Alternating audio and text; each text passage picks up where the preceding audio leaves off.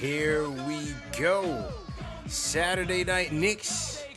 The music has been hit because after an embarrassing effort last night against the Mavs, Knicks came into Detroit, came in for business, and took care of business right away, led by Julius Randle, Reggie Bullock. Knicks went out to a 14 0 lead and did not look back.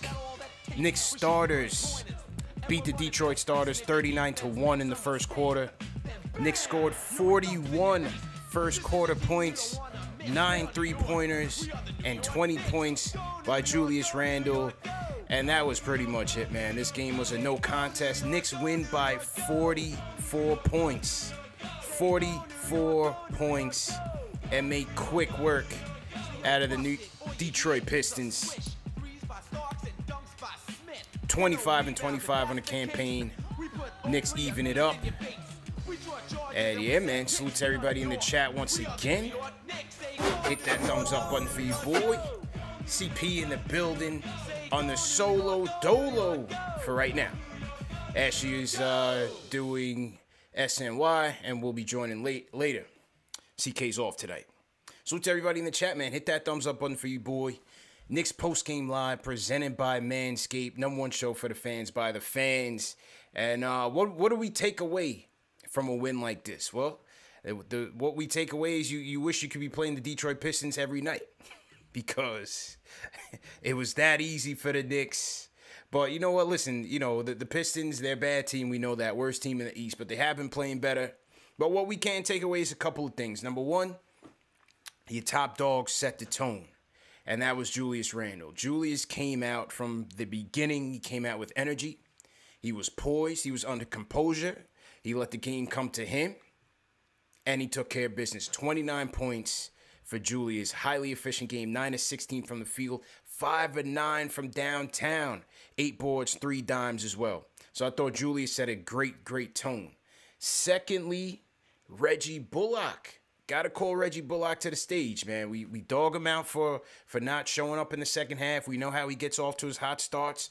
Bullock put together a complete game. 22 points, 6 of 10 from downtown, along with five boards. So Bullock chipped in and, and had a complete game for this team, which was good to see. You know, Julius and Bullock have that chemistry going, man. We always see how they start the game off. They always get into that one-two game with each other. And tonight it paid off. You know, again, against the Pistons, but tonight it paid off. An interesting stat going into this game. Shout out my guy Tommy D for putting me on to this. Because I was wondering, because every time we see Bullock and, and, Randle having that chemistry, I want to know how many um, assists does does uh, Randle account for on in Bullock's makes. Bullock accounts for 43% of Randle's dimes. And he's shooting 41% from three and 44% from two. So we put the numbers together with the eye test, and, and, that's what you see, man. They had the chemistry going, and they were locked in. So good job by Bullock putting a complete game together. Definitely wanted to see that. What another thing you could take away, and again, yes, it was the Pistons, but another thing you could take away was the ball movement. The ball movement was crisp from beginning to end, and you know what? Gotta give him credit. We dog him when when it's due. I give credit when it was due. I thought Payton made a concerted effort to swing the ball, look for others before he looked for his typical drives to the rim. And I thought that also helped us out a lot early in this game. I thought Payton was looking to dish. He would finish with a team high, nine assists, 11 points, nine assists for Payton. So I thought I thought Payton moving the ball was nice. RJ got the ball moving here and there. Julius was definitely moving it. I thought the off ball action was good between RJ, Payton, Bullock. They were moving well without the ball. So the offense just had a bit more spirit to it. Knicks got out to a 14-0 run. 39 to 1 Knicks starters outscored the Detroit starters in that first quarter. 41 first quarter points for the Knicks. Nine threes. I think they would finish with 15 on the night. Eight, 19 on the night. Correction, 19 on the night. Because in garbage time, Kevin Obi started filling it up. So it was a good effort. 21st quarter points by Randle. Overall, good effort. I thought the defense was crisp. Between Noel and Taj, I thought they manned the paint very well. Noel, Noel finished with four blocks. Taj chipped in with two, two steals. So I thought defensively they were crisp in, in guarding the paint. Perimeter defense was also solid between Payton and RJ. I think I thought they did their thing. Bullock as well. So they took care of business, man. You wish you could play the Pistons every night, but they took care of business and got back on track. Took care of business and got back on track. Garbage time. Obi did okay. You know, Obi came out and got some more confidence. Then in garbage time, Kev came in, started started lighting it up. We get uh, three for three from downtown for for Kev. So that was solid. How about Norvel Pelle? Norvel Pelle comes in in garbage time, dislocates his finger on a on an alley oop attempt.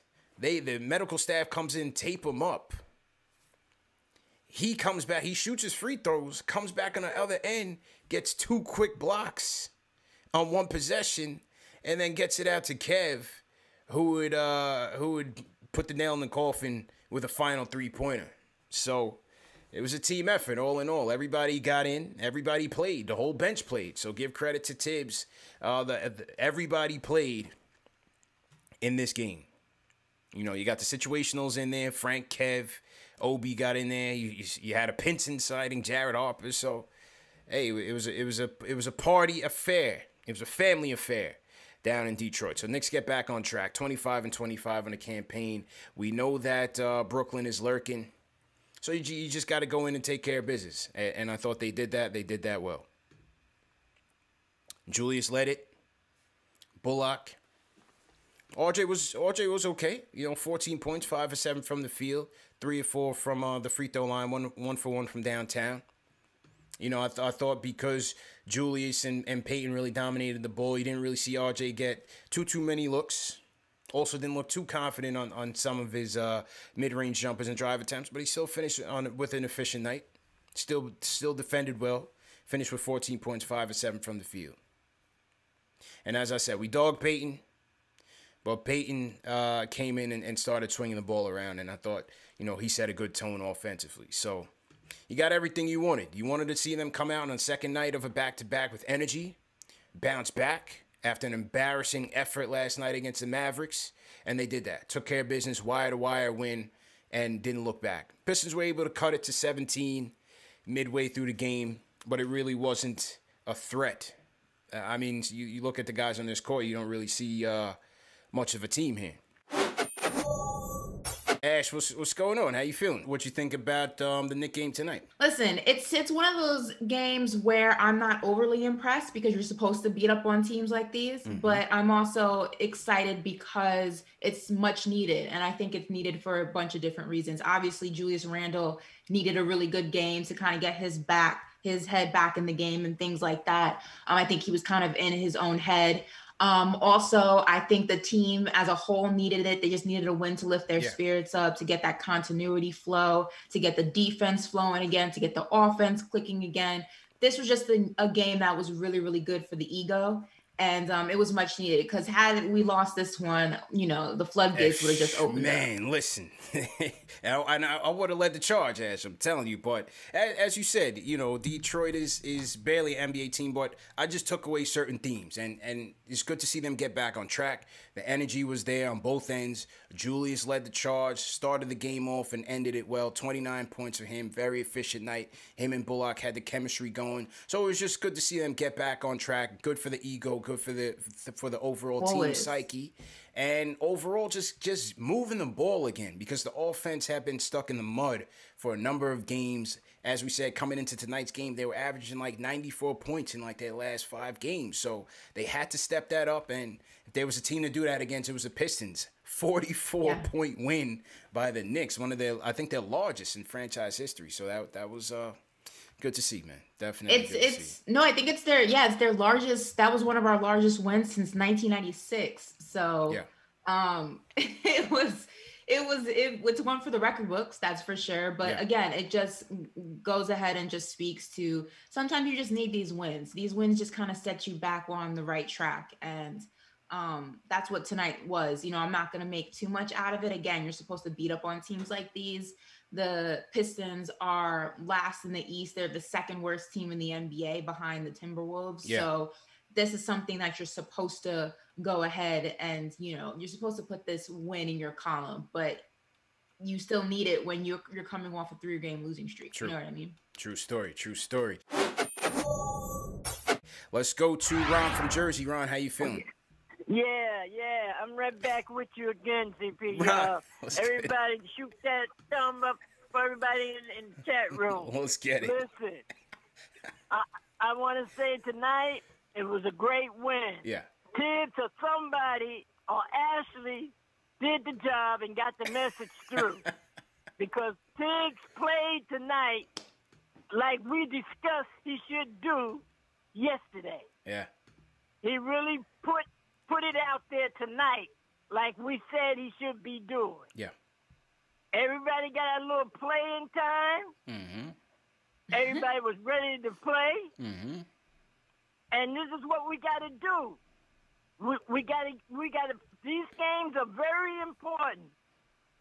And we got to, we got to be ready for every game. Yeah. It's no more taking off. You can't take off no more. No And doubt. that's all I want to say. Appreciate it, Ron. You know, and um, just one more thing, one more thing. Uh, uh, don't worry about Brooklyn. We're not worrying about Brooklyn. Yeah. You know, uh, I'm from Jersey. Uh, the? Nets was my team, still is my team. But I love, I love all my New York teams. No doubt. I'm a New Yorker. I love all my New York teams. All right.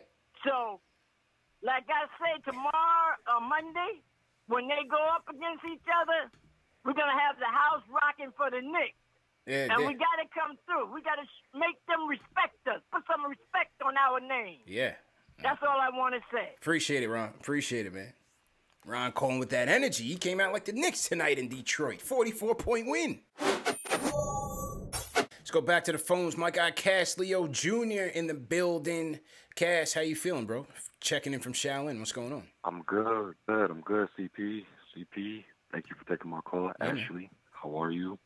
And I'm good, how are congratulations you? on your SNY. I'm good. I'm Thank good. I'm you. good. Thank you. Thank you. I got. I have a lot of thoughts right now. Just, just listen to the early callers. But Mhm. one thing I just want to highlight: the fact that Tibbs took the initiative to allow the entire team to hit the floor. And I'm wondering, Mhm. Moving forward, it, it, it's promising right now we're going to make the playoffs. I I'm I'm feeling confident about that. And if and if not, then a play-in pos, uh, position. But is it is it is it an idea for Tibbs to see what he can work with with everyone? I'm talking about Kevin Knox shooting the three. I'm Yeah. talking about you know IQ, of course. You know, uh, leading the second unit with his energy. D Rose, um, he does look a little a little slow, but I think he's going to recover um, in the right timing with, with the treatment and whatnot. Mm-hmm. And and just just seeing just seeing all the possible options and weapons that we can use in the long run because we one one of the, one of the main things that I was nervous about for the second half of the season were the amount of minutes that RJ, Julius, and you know the the starting five was getting first half on. Yeah. And now, given given that we might make the playoffs, I think I think um, it's time for Tibbs to become flexible and, and Yeah. exercise the rest of the the rest of the team. Uh, well, here's what he said, and appreciate the call, man. People in the chat said Cass had his librarian voice on. My man was was he he was low with it. but so It's almost midnight. That was his sexy yeah, voice. my man. Yeah, I, t- I think that was for you, Ash. I think that was for you. Like you ever you ever listen to the radio late at night? yeah, yeah, that was a quiet storm. He had his quiet storm voice. on. Chuck, Chuck, know what it is. Um, but you know, it's interesting because I was listening to the the post game press conference and it came up. It was a topic of conversation for Tibbs in terms of just playing the bench and, and getting them out there with the lead so large. And this was Tibbs's answer. He was basically saying like, no lead is safe. And especially in this league when teams are jacking up 35, 43s a game, you know, this is why he keeps his starters in for a, a while just to make sure that they go away with the win. Again, that's his answer, not mine, but that's that's his answer. He also has said that he likes to keep the rotations the way that they are because he wants to keep guys, you know, keep the chemistry going and, and keep guys together. So this is why he goes to a short eight nine man rotation to make sure things are together. I would like to see Kev get more minutes, of course if Frank, if there's an opportunity to get Frank in there, of course you like to see it. But I think these are these are the eight nine guys that you're gonna see going into from now until you know they get into whether it's the playoffs, a playing game, what have you. I think that's just you know I think this is the core that you're gonna see. This is just Tibbs's philosophy.